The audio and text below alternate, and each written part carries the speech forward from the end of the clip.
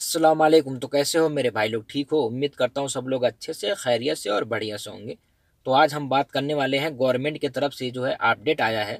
उसमें उन्होंने कहा है, वार्निंग दिया है। ये वार्निंग उनके लिए है, जो सऊदी अरब में सऊदी के नाम से यहाँ पर दुकान खोलकर, यानी दुकान खोलकर बिज़नेस करते हैं।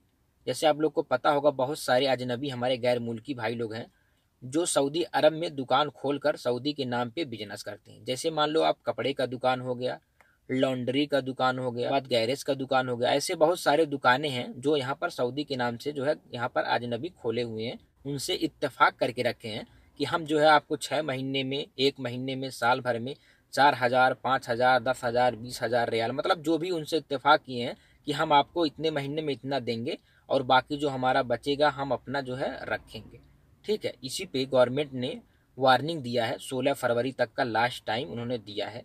उन्होंने कहा है कि जो भी गैर मुल्की यहाँ पर सऊदी के नाम से बिज़नेस करते हैं, वो अपने बिज़नेस को जो है, यहाँ के जो है रूल कानून गवर्नमेंट का जो है रूल कानून मिनिस्ट्री का जो रूल कानून है, उसके मुताबिक कर ले, यानी ठीक कर ले। नहीं तो आगे चलकर अगर वो लोग पकड़े जाते हैं, उन्होंने वार्निंग दी सोलह फरवरी तक अपना जो है काम को ठीक कर ले अच्छा कर ले, जो भी इधर गवर्नमेंट के मुताबिक। नहीं तो अगर उल्लंघन करने पर अगर वो लोग पकड़े जाते हैं तो उनके ऊपर पाँच मिलियन रियाल का जो है फाइन लगेगा और उनको जेल होगा और शायद हो सकता है उनको सऊदी के लिए, सऊदी से हमेशा के लिए डिपोर्ट कर दिया जाएगा। यानी उनको दोबारा सऊदी अरबिया में एंट्री नहीं करने दिया जाएगा, उनको ब्लॉक कर दिया जाएगा। तो हमारे जो भी भाई लोग यहाँ पर काम करते हैं आप लोग, अगर दुकान में कहीं पर भी तो आप लोगों के लिए 16 फरवरी तक का टाइम है। आप लोग अपना जो है, जो भी आपका धंधा पानी यहाँ पर है, दुकान है, उसको जो है कानून के रूल के हिसाब से, यहाँ के गवर्नमेंट मिनिस्ट्री के हिसाब के रूल से आप लोग अपने काम को ठीक कर लो, नहीं तो आप लोगों के लिए आगे चलकर बहुत सारे जो है समस्या का सामना करना पड़ सकता है और आपको सऊदी अरब से डिपोर्ट भी कर दिया जा सकता है। उसके बाद हमारे बहुत से भाई लोग जो है परेशान हैं, जो यहाँ आमिल मंजली का काम करते हैं और ड्राइवरी का काम करते हैं। बहुत से भाई लोग परेशान हैं कि भाई हम भी यहाँ पर अपना गाड़ी लिए हुए हैं या ड्राइवरी का काम करते हैं, यानी भाड़ा वाड़ा मारते हैं इधर उधर वो लोग भी परेशान है कि भाई लोग हम लोगों के लिए भी है तो भाई आप लोगों के लिए नहीं है। आपका काम ऐसे धंधा पानी हमेशा के लिए ऐसे चलता ही रहेगा। लेकिन आप लोगों को जो है थोड़ा सा ध्यान रखना है। जैसे आप लोग कहीं पर गाड़ी लेकर जा रहे हो तो अनजान आदमी को ना बैठाना। अगर अनजान आदमी को बैठा रहे हो तो उससे जो है उसका नाम, पता, एड्रेस ज़रूर पूछ लेना, ताकि आपसे कोई आगे पुलिस वाला अगर रोक कर पूछता भी है कि जो है ये कौन है चेक इन करने के लिए, कहीं आप भाड़ा तो नहीं मार रहे हो तो आप उसका जो है नाम, पता बता दो, उसको विश्वास दिला दो पुलिस वाले को। कि हम जो है भाड़ा नहीं मार रहे हमारा दोस्त है, हम इसको जो है कहीं पर छोड़ने जा रहे हैं। अगर आप लोग अनजान आदमी को बैठाते हो तो अगर आप लोग अपने दोस्त वगैरह को बैठाते हो कहीं पर अपने एरिया के आदमी को तो उसको तो आप लोग जानते ही होगे, उसका नाम पता बता दो फटाक से तो आपको लिए, आपके लिए कोई दिक्कत नहीं होगा।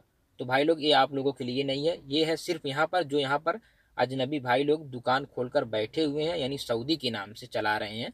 उनको उनसे इत्तेफाक करके कि महीने में या साल में इतना देंगे, उसके लिए जो यहाँ के गवर्नमेंट ने 16 फरवरी तक का लास्ट टाइम दिया है कि अपना जो है वो धंधा पानी यहाँ के कानून यानी मिनिस्ट्री के कायदे कानून रूल से कर ले।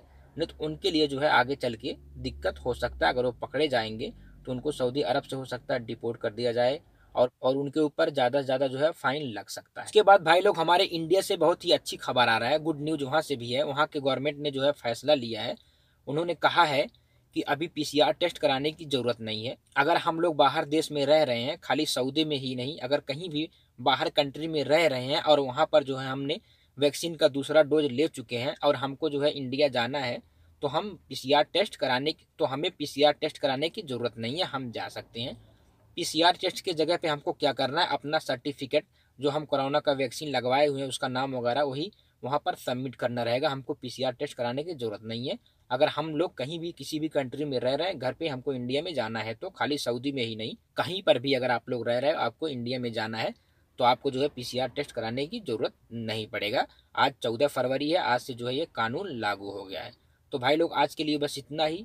अगर और भी कुछ आगे गवर्नमेंट की तरफ़ से अपडेट आता है तो हम इनशाला आप लोगों को बताएँगे ज़रूर। अगर आप लोग को हमारा वीडियो अच्छा लगा हो तो आप लोगों से छोटा सा रिक्वेस्ट है, आप लोग हमारे चैनल को लाइक सब्सक्राइब कमेंट ज़रूर करना। मिलते हैं नेक्स्ट वीडियो में, तब तक लिए अल्लाह हाफिज़। जय हिंद, जय भारत।